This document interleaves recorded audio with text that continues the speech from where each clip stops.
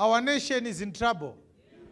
chokwadi Our nation is what? in trouble I want to remind you of the prophecies that I gave a long time ago. I want to remind you about them. Because I did give those mira- uh, prophecies. They are prophecies. They are prophecies. but there are going to be miracles when they happen because the fulfillment of those prophecies is going to change things around.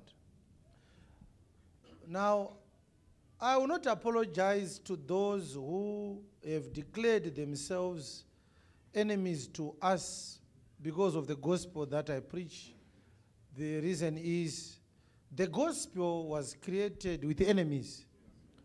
So if you jump and come to the gospel, you've got to know about it.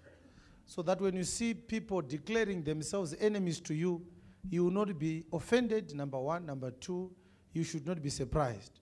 yes fange rakadhizainiwa riine vavengi varo ukangopinda mariri unobva wabatanidzirwawo inenge iri tsvimbo iri kurova tsuro negwenzi chokwadi saka those who say they are our enemies we welcome them to that enmity it is yes. a god ordained enmity. We don't have a problem with that. Chokwadi. We we hate nobody ourselves. We have no space in our hearts to be a grudge or to have hatred. Yes. We hate nobody. Chokwadi. We are a people of love. Yes. But we love the god's way. Yes. We don't love men's way. Yes. We love god's way. Amen are you getting it? So it's a reminder of the prophecies that i gave. Before i remind you of these prophecies i want to remind you of some of the prophecies that i gave which did come to pass. You may not like it but i gave those prophecies. If you didn't hear them it is probably because they were not meant for you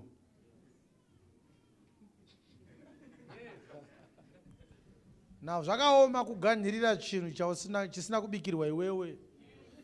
Zvakanofanira kuti pabikwa nhopi wori muenzi wotangwa kuti nhopi handidi ndikutosha timabikirei dzabikwa usipo nhopi idzi. Hautoripo pamezhwa makapu edova achipinda munhopi havana kumbofunga nezvako. Kozi nhopi dzine vanodzida vadzagadzirirwa. Iwe wasvika yapakurwa usapopote. Hapana pleti yako panhopi ava saka ngatichenjerere vanhu vanoganhira kupopotera zviprofita zvisiri zvavo. Chokwadi. Unopopotera nhopi waedzwa? Handanzwa dzinhuhwira ndedzako.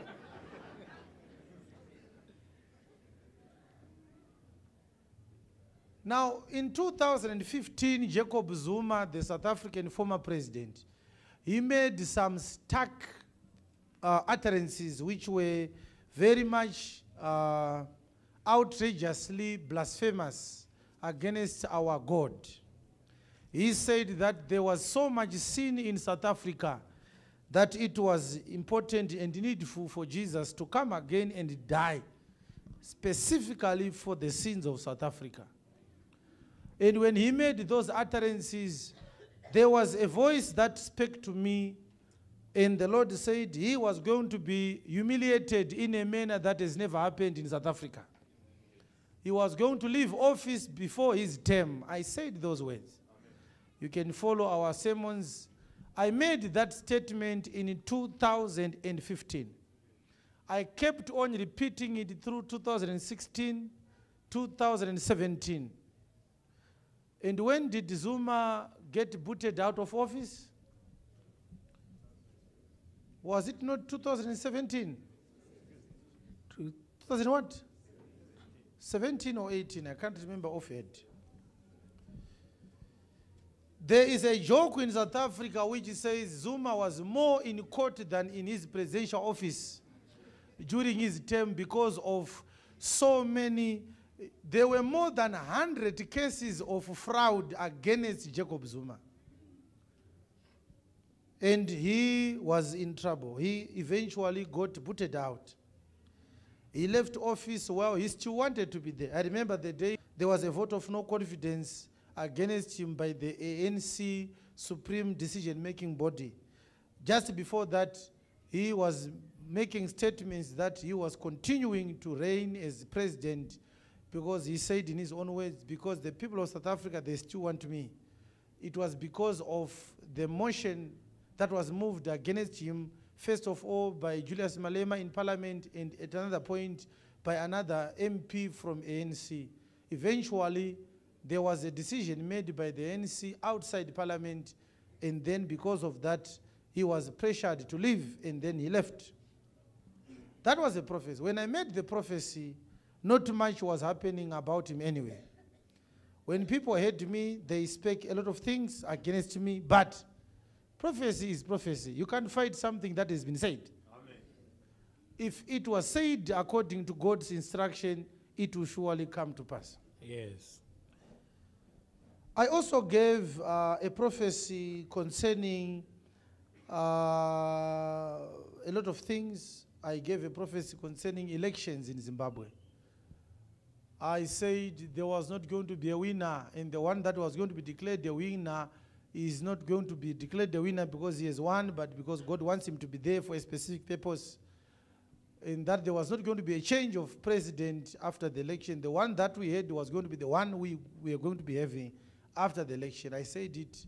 People said I am a ZANU-PF supporter because I said the results of elections, I saw them. I said that I was at first there.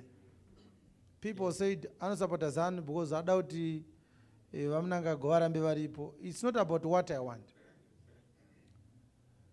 Eh, if the newsman announces that fuel prices have increased, it doesn't mean that he is going to buy fuel with an unadjusted price. He is also going to buy the same at the same price. He's, he's simply announcing what is going to happen. Yes. Higher authorities have given him a task to make an announcement. So the man of God makes a pronouncement of what God is going to do. It doesn't mean that he has a contribution in those things. Yes. Okay? So I didn't go there to rig elections. I wasn't there. I only went to cast my own vote because I'm a Zimbabwean. I have a right to vote. As far as the outcome of the election, I played no part. And now I don't work for Zimbabwe Electoral Commission. So I didn't do anything. I just made a pronouncement because that's what I saw. I saw those results before people went to vote. So I gave the prophecy. People hate me because they wanted a different outcome. God doesn't work for people, He is God. Yes. And for those who celebrated because they thought the prophecy was in their favor, they were also misguided. Yes. Because when I spoke about it, I said there are people who were behind another man for a long time. They were blaming him, saying they were able to do better than he was doing. And I said, God wants, wants them to come in front so that the people may see them as failures for what they truly are.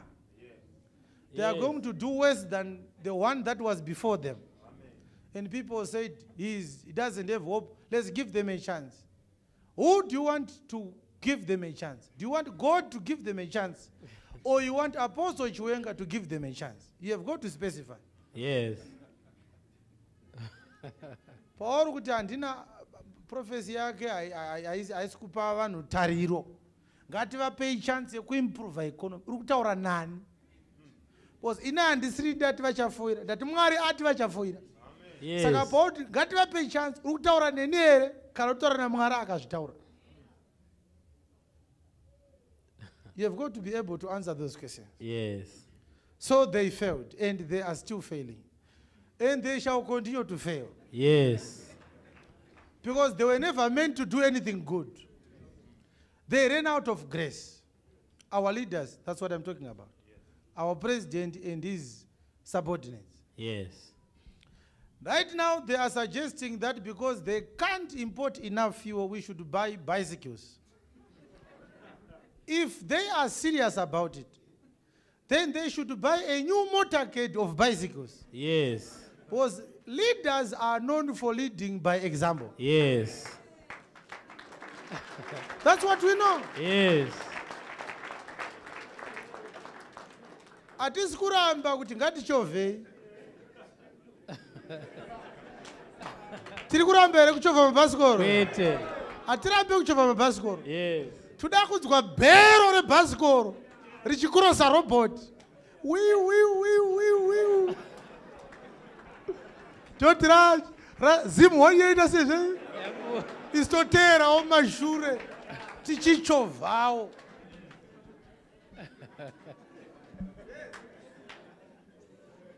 yes. Zvakafanana nababa vakundikana kutenga mafuta nemuriwo voti kuvana sauti yakanaka ine iodini isingaite? We all need iodine. Kumbirai riregerero kuvana vanangu ngatidyei nesauti sadza iri.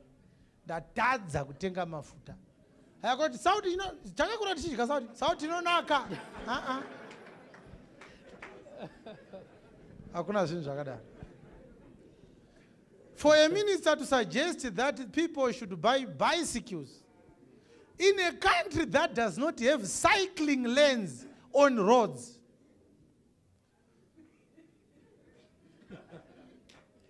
We are suffering from a leadership plague. yes yes. Dambudziko ratinaro munyika muno rakafanira maperembudzi yes. It's a plague. Chokwadi. We have leaders. They not only fail to lead us but they also don't know how to talk to their people yes And they are doing that because they are riding on our people's docility. If we had people who knew how to practice activism, they would never have said such reckless rhetoric. yes Hallelujah. amen But when I said it, people castigated me. They criticized me. They don't want to talk to me now and say, What you said is true. You said we are going to go through a dark hour. We are seeing it. Three months ago, I said the dark hour is only starting. And people said, Oh, it's too hard for us. Oh. they are now seeing that it's getting worse and worse and worse and worse. The dark hour is not yet passed. yes We are in the midst of a dark hour.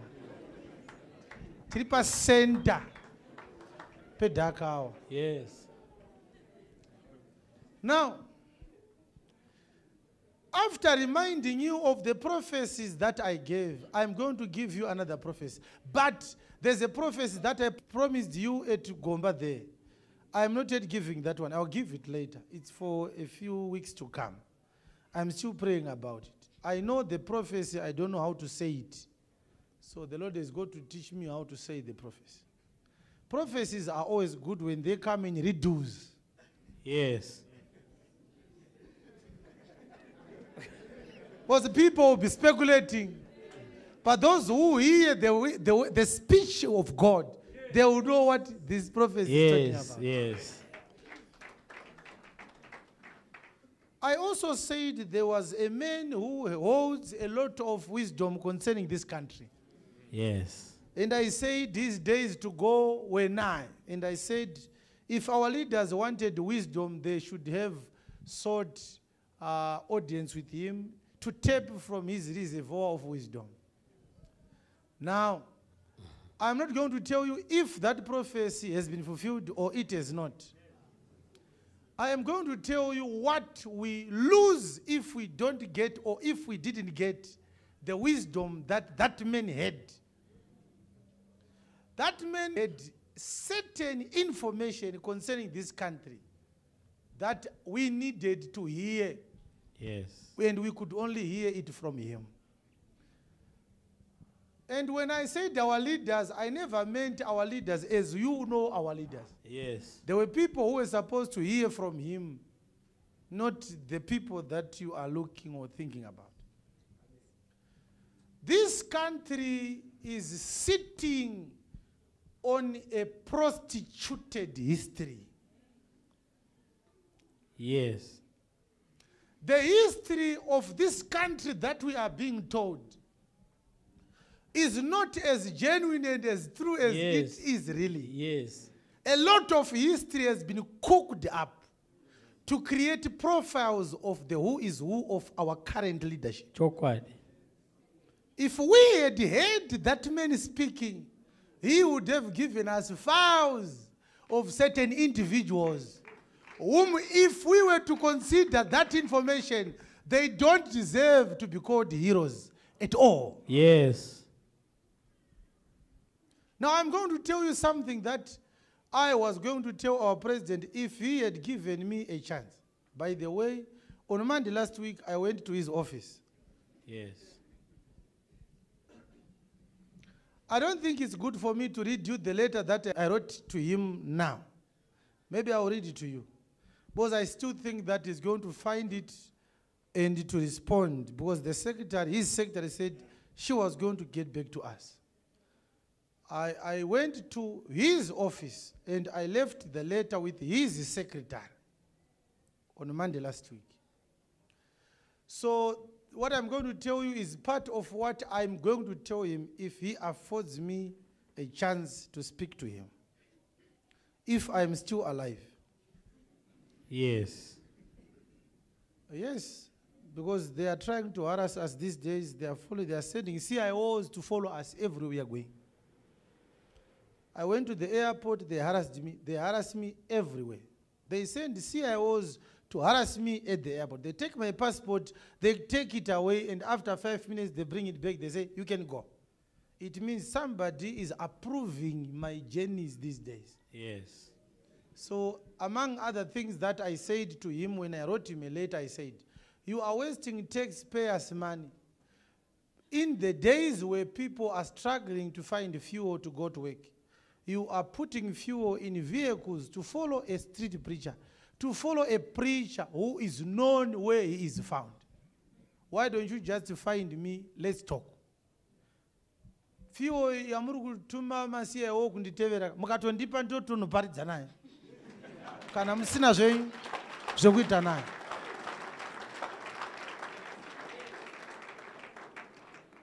Saka kuti ndirape ndichiteverwa zvinondikanganisawo because as a preacher i need to have a clear mind a clear head. It's very difficult for you to live knowing that some people are following you. They want to kill you. Where are they going to kill you? When are they going to kill you? I'm not afraid to die but it tortures me to be living with an x over my head every day like somebody who has been on a death row for four years it's difficult it's better for me to die on monday than to die on friday you know that kind of a thing don't you think so? it's better for you to die on Monday than to die on what? Because between Monday and Friday, you'll be torturing yourself. So, are they going to chop my head off? Are they going to shoot me? Are they going to tamper with my vehicle so that I get involved in an accident? That's what tortures me now. Not the fear of dying. No, I'm not afraid of dying. That's why I'm going to be saying these things anyway. Yes. So that man, he had uh, the correct version of this country's history. He's not the only one with that version. Others have got pieces of the correct version, but he had the bigger part. He has the bigger part. I don't want to be preemptive. So I said, if our leaders wanted wisdom, they should have found audience, they should have met with him so that they may know the true events that happened. I was born in 1985. Five years after we got independence. The good thing about me is my parents were war heroes. My grandfather was one of the people who deployed soldiers in the Inyanga area there. He's the one who actually helped other great heroes to leave this country to go for military training. So I also lost a brother to the war. So I have got a right to say whatever I want to say, apart from the fact that as a minister, I know no boundaries anyway. So don't, don't, don't muzzle me and say you were not there, you should not talk about it. Because that's what they do when they try to change the history. If one is a true hero, we must know him for what he truly did. We must know them for their true contribution to this country's liberation. For people to come back from the war and hide certain things from us, it is not fair. Is it fair? No, it is not. It's not fair. There are people whom we are celebrating as war heroes today who are actually guilty of murdering other war heroes during the war. Yes. We have leaders who have blood in their hands, not blood of killing the white enemy. No, they killed other war heroes during the war Yes. because of their selfish gains. In that man had the correct information concerning this issue. Yes. That's why I was saying we needed to find leaders going to hear him out. Did they go to hear him out? I don't think they did. But that's the prophecy that I gave. It's up to you to find out if that prophecy has been fulfilled or it is not. I will not tell you that. That's not my duty anyway. Yes. Now, there's the reminder of the prophecies that I gave. I gave a prophecy concerning Adonijah. It's, an, ad- it's called the Adonijah prophecy. And this was the prophecy. When Adonijah rose up against his father David, saying he wanted to take over as king over Israel, did he live afterwards? Did he experience longevity and peace? Adonijah, is he going to live? And when Adonijah rose up against David, did not Joab, the commander of his army, side with him? Joab, his nephew, the son of his sister Zeruiah. Why did Joab join forces with a rebellious son? That was an act of madness. It was an act of foolishness. Is Joab going to live? Now, the Bible, if you look at it, there are prophecies which were said and they took 400 years to get fulfilled. And when prophecies are given, people are expecting those prophecies to happen tomorrow. And when they Yes. don't see them getting fulfilled, they say, liar, the prophecy never got fulfilled. Don't worry about them. Yes. Remember, it's a no pot. People are complaining kuti Yes. anonoka kuibva izvo payakagadzwa hapana kana pleti yavo kungofarira munhuwi wacho chete iri kunhuhwirira nopi pakura inoibva nguva even ikaibva haisi yenyu poto iyi Yes. hamuna kana spuni yenhopi yamuchadya apa poto ndeyevaridzii so we are not going to be moved by speculations so what went into Abiathar the priest of god why did he support hallelujah Amen. why did he support the rebellion of a rebellious son, a renegade son? We only know that there are true men of God who never sided with Adonijah's foolishness. Who are they? Nathan the prophet and what? And Zadok the priest. Adonijah, wakanga wapindwa nei zvawakamukira baba vako iwewe adhonija ukati vanonoka kufa wakuda kutonga ukabvisa ukada kubvisa baba pachigaro nechisimba anorarama here adhonija ko joabhi mukuru wehondo yamambo muzukuru wake muzukuru wake. Haana kuona here kuti sekuru adhonija vaakurasika. Anorarama here joabhi joabhi anorarama here. Ko iye adhonija zvaakambogara pachigaro akagarisa here pachigaro? Haana kuzokurumidza here kubviswa pakaenda solomoni. Nekuti adhonija aizvikudza achiti ndiri mukuru mukoma wangu abhusaloni zvaakafa ndii ndinogara pachigaro. Mwari akati i am not a respecter of persons. Ndokubva atora solomoni mufana wake akati ndowandoda. Akati nekukura kwesoko handikude adhonija ndoda solomoni ko imi munoramba sei kuti vanhu vamwari vane roho yekuita panyaya idzi? Imi vari muno imi. Hamuzive here kuti akazoita kuti solomoni agadzwe? Ndinathani Yes. akamhanya kuna mama. Yes. akanoti mama endei kuna mambo. Munotaura navo. Munozviziva here kuti soromoni kuti atonge pakashandiswa munhu wamwari? Haana kutonga nathani nathani haapinde munyaya idzodzo. Anongouya oti a mambo mamukirwa. Mukomana uyu ndiye akanzi namwari ndiye achatonga. Ee! Amen.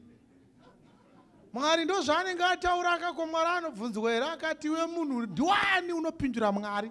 Zvekupindurwa chaizvo mwari haadi. Yes. saka adhonija ichokwadi kuti akamukira mambo mubvunzo chete ndewekuti akatonga here kwenguva yakareba iwo musi wakapanduka adhonija vanhu havana kumhanya here? Vakaita mabiko vakadya vakafara.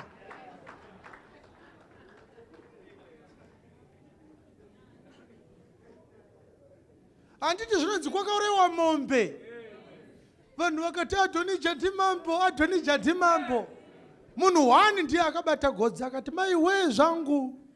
Ndinathani akati hazvina mwari mukati izvi. Yes. Yes. yakutoda kuti ndisimuke igadziriswe. Ipapa unoona mumwe achipopota kuti musataure izvozvo. Ndiwe adhonija here iwe asi ndiwe kani? Unenge ndiwe ka adhonija iwewe ndiwe joabhi ka iwewe? Unopopotera chiprofita chisina zita rako? Asi uri kunyumwa zvako kunyumwa hakurambidzwe futi ka? Yes. saka izvezvi mukandiuraya munoti zvinosara zvisingaitike? Zvinoitika. joabhi anorarama here? Saka the other prophecy that i gave i said i saw two coffins. I saw two coffins. So the one was getting buried and the other one was coming quickly in the vision it was before this one has been buried and, and, and heaped on, on, on through soil and, and, and this one was coming and the Lord was saying, Why, what, what, what are you seeing? And I said, I saw two coffins. And somebody says, "Coff- We know coffins all the time. Coffins will be, what's new about dying? We all know that we are dying. Well, that's what we call gainsaying. Yes. When Isaiah said, Unto us a child is born, were children not getting born every day? They were. If you hear Isaiah saying a child is to be born, it means it's a special child. Yes. When you hear about two coffins, they are not ordinary coffins. that is what it means. Yes. Tell your neighbor, they are not ordinary coffins. Asi pungu ari mubhokisi randakaona ini. Wanzwa zvandataura mukofini makofini andakaona maa musina pungu kune rufu rwokuti kana rwaitika fulegi inodzika so ndo rwandakaona ini. Yes. ruimbi rwakasongayakaya paredhiyo kayakaya. Ndo rwandiri kutaura inini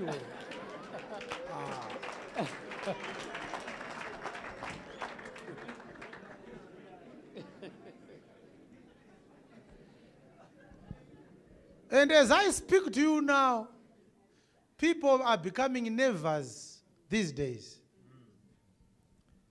now I'm going to give a prophecy which is so much in riddles that it will be difficult for people to understand it, but that's how I'm instructed to give it anyway. Hallelujah. Amen. So I saw a village house. Listen to this prophecy. It was a village house.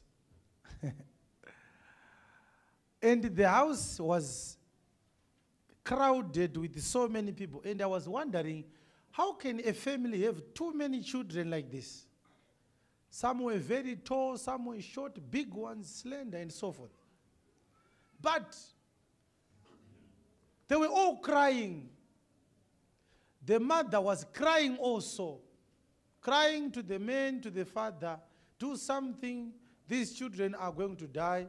There was, the house was leaking, it was raining, it was dark. There was no food, there was no fire.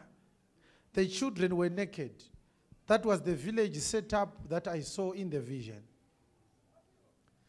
So the husband was climbing a eucalyptus tree. So each time there was a voice of crying from the wife and the children demanding that the husband does something to solve the problem. Instead of coming down to deal with those issues, he continued to climb higher. And the eucalyptus tree was very tall. And uh, as I was looking at him climbing, I was wondering what is going to happen if he goes to the summit of that tree. He was running away from his responsibilities. And I saw some of those children falling down and dying. That village house was big. The children that I saw were more than 1,000. And they started to die. Five, five, ten, ten, hundred, falling down and dying. More than 1,000 of them. And then the voice spake and said, Do you know how this situation is going to be solved? I said, No. I saw a wind. Very violent wind, very boisterous. It came, it lifted up all the dust and all the mud and all the stones into the sky. And the tree did not fall down. It stood on its leaves. It was changed upside down. That's the end of the prophecy.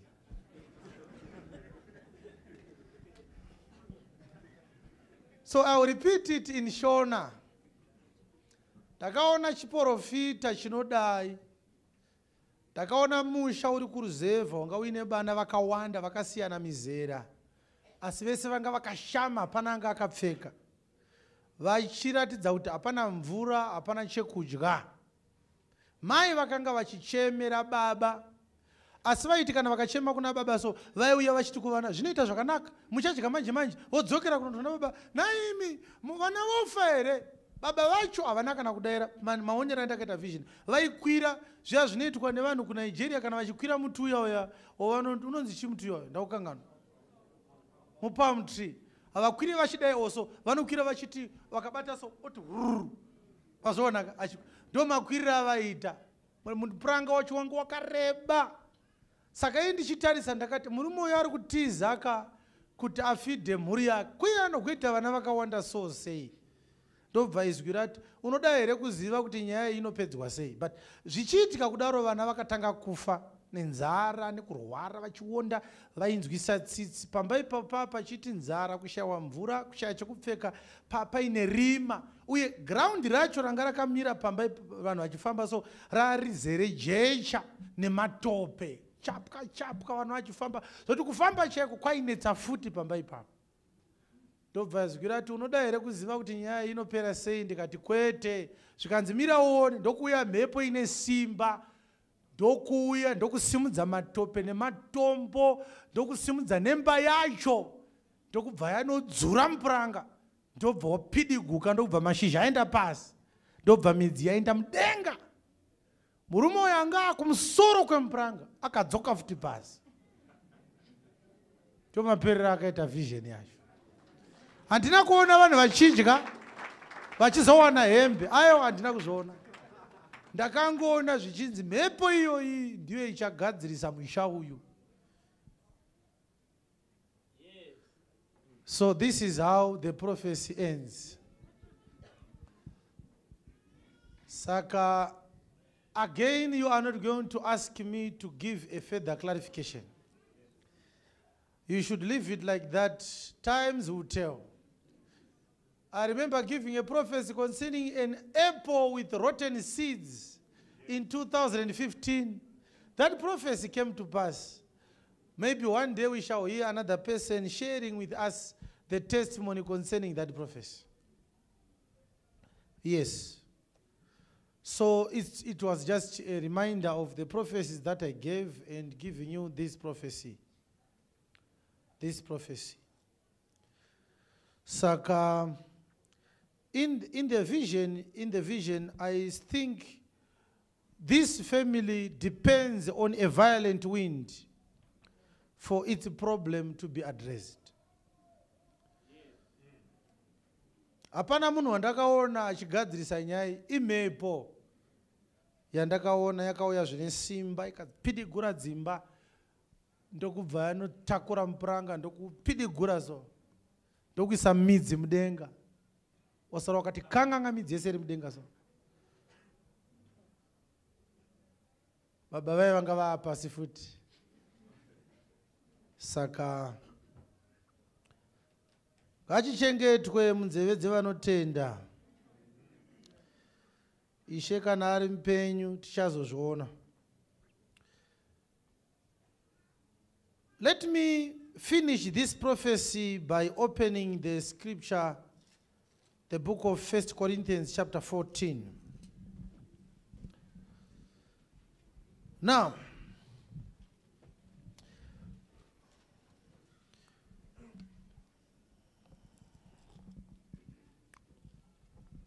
follow after charity and desire spiritual gifts, but rather that he may prophesy.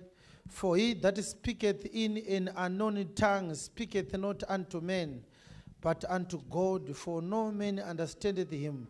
Howbeit in the spirit he speaketh mysteries. But he that prophesieth speaketh unto men to edification and exhortation and comfort. Hallelujah. Amen.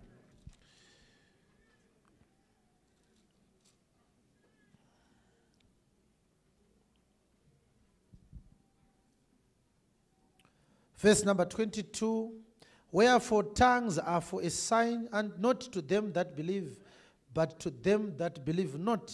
But prophesying saveth not for them that believe not, but for them which believe. So prophecy is beneficial to only to believers. Can we repeat this together? Go.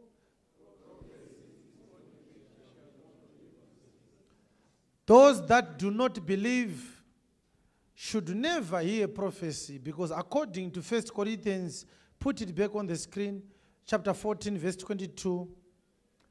I want us to read it again. Let's read it together. Go. Wherefore, tongues are for a sign, not to them that believe, but to them that believe not.